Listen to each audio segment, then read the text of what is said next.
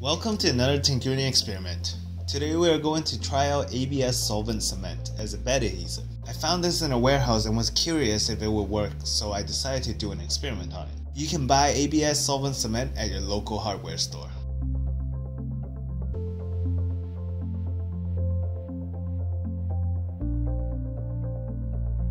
ABS solvent cement is normally used for welding ABS pipes together, but we are going to test it today and see if it's a good bed adhesive as well.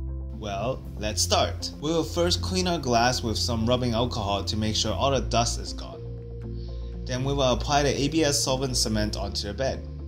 We will try to apply it as evenly as possible. I'm not too sure if this will work out. I assume that it's going to work like ABS sludge we created previously.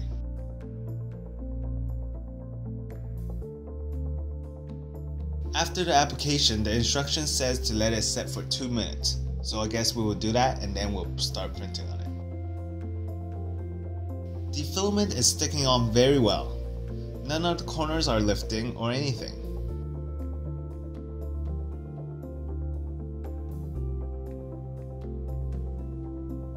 Let's try to remove it. It's stuck on pretty nicely.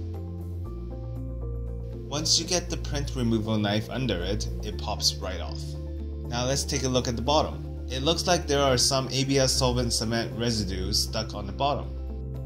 I also see these weird grooves and patterns on the bottom of the print. I think this must be affected by how you apply the ABS solvent cement. We also wanted to see how it will do printing the perimeter. It's sticking nicely on all four corners. They are fairly easy to remove as well.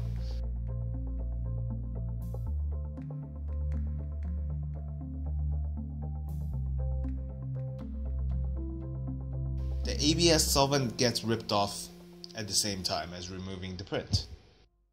It looks like you will need to reapply each time it rips off. To wash it off, we will put it underneath running hot water, just like when we were cleaning ABS sludge. It comes off like a piece of film.